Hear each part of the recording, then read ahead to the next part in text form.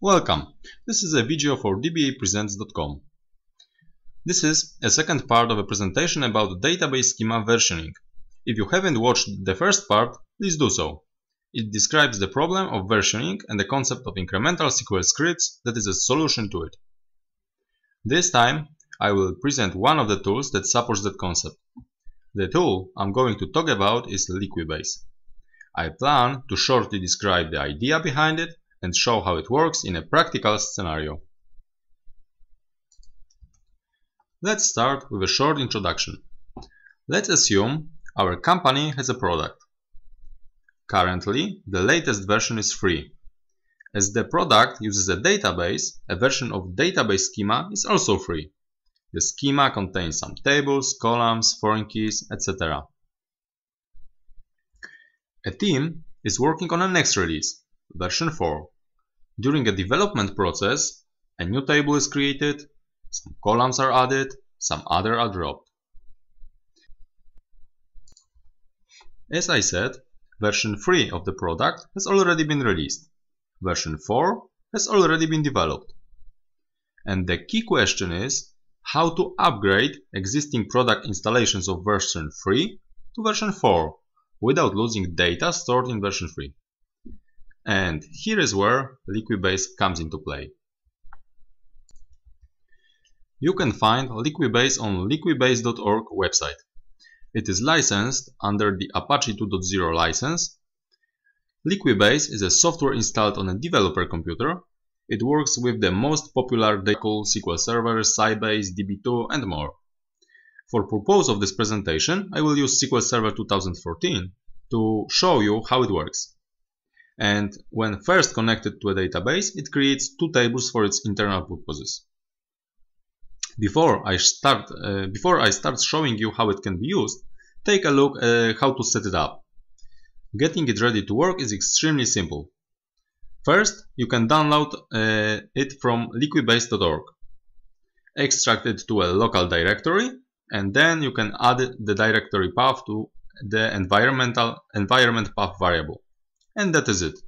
Liquibase is ready to work.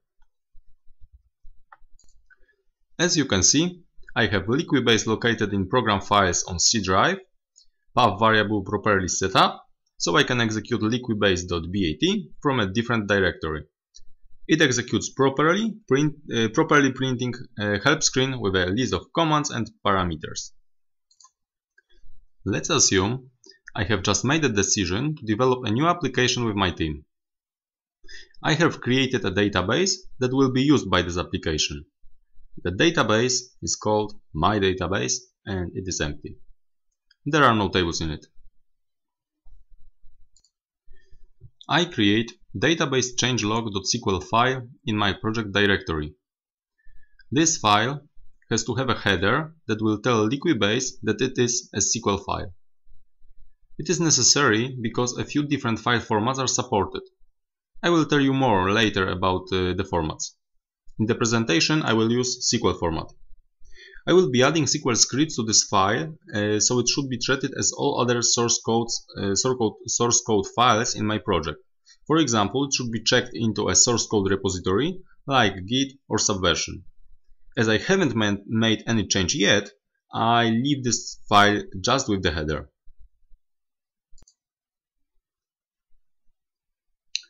As you remember, I said Liquibase requires two tables, which are not yet created.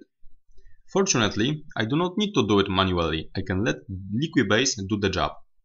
I just need to make Liquibase connect to my database. I can use update command from liquibase.bat. Additionally, I need to pass a few parameters to tell uh, the tool which JDBC driver to use, its location, database URL, and credentials. You can see them on the screen. Now I click enter.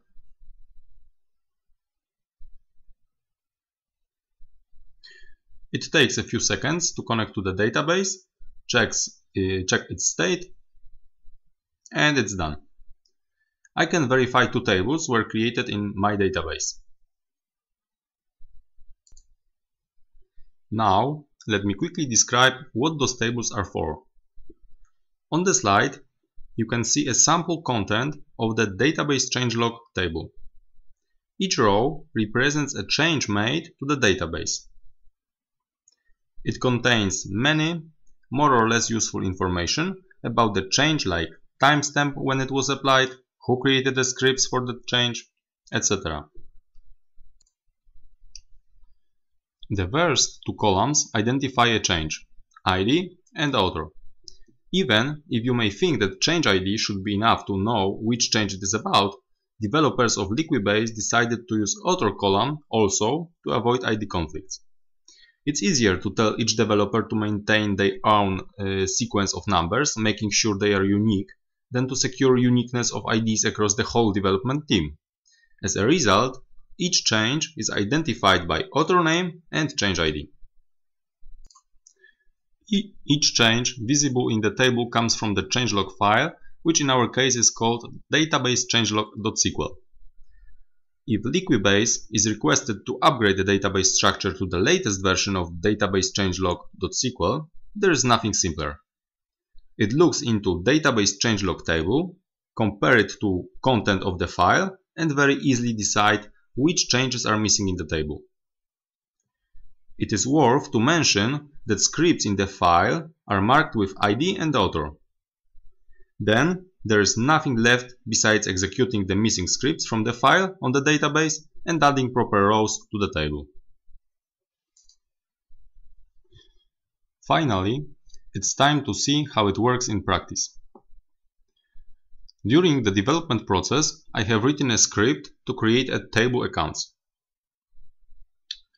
Uh, my change starts with a header that marks the change as the first one of all my changes uh, below, you can also notice there is a rollback section.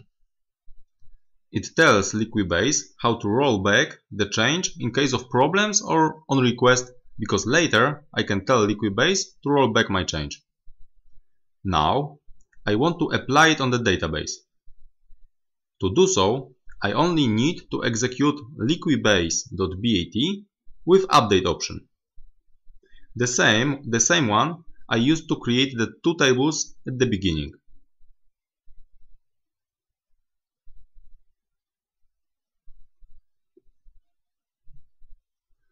After doing this, the table shows up in, the, in my database.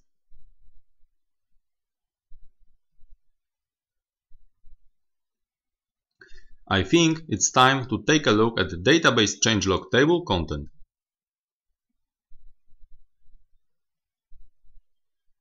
The first row showed up with a change ID 1 and of author me.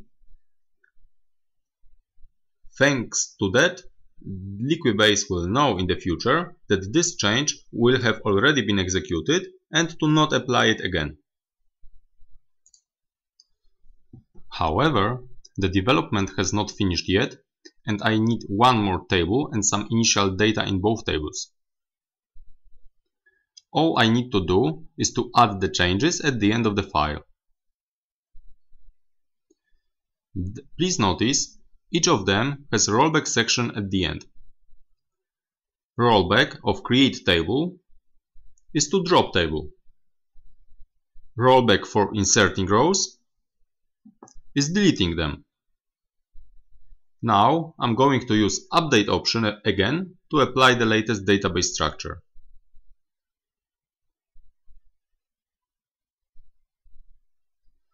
The second table shows up and initial data is inside. I'm sure you can easily guess content of database changelog table. Yes, it now contains three rows. Two new rows have just been added. Sometimes it happens that unexpected events occur, like a defect created during the development or just design alters and some other and some previous changes are no longer needed or even must be rolled back. Although Liquibase have a few options to roll back, I'm going to use just one of them, rollback count. It allows to roll back a bunch of last changes. In my example, I provide number 2, which means to roll back last two changes.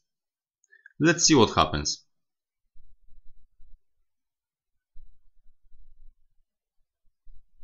It's done. Transactions table disappeared like it would have never existed. It is interesting to verify content of database changelog table. Now it contains only the first row, which means the next two can still be applied the, to the database. But I'm not going to do that now. Another developer, Miranda, looks at my scripts and discovers that a foreign key between accounts and transactions tables is missing. She creates a script to add it with her name and ID1 in the header. The script is added to changelog database changelog.sql. As you already know how to update database structure using update command, I will do a similar task using update SQL option. If you do not have administrator access to a database, you want to, uh, uh, to a database you want to update, for example, the database is hosted by your customer or there is a production DBA in your company and you need to provide uh, him with uh, SQL scripts, then update SQL option is for you. Instead, instead of applying the script to a database, it creates a SQL file that can be executed later. This is how syntax looks like. By default, SQL statements are produced to the standard output, but I redirect it to a file update.sql.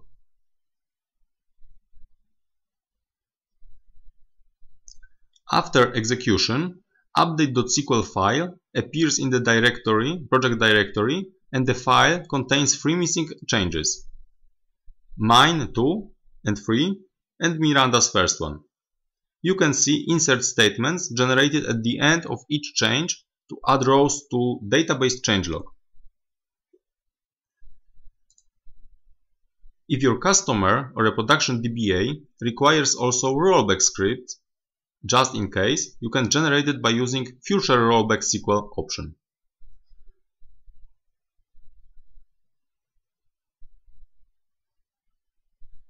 After execution, rollback.sql appears and it contains rollback scripts for each changes for each change from update.sql file in a reversed order. Please notice the file contains changes that has not yet been applied to the database. The file makes sense only after running update.sql. It is a very useful option because it allows preparing all scripts actually making and without actually making any change in the database.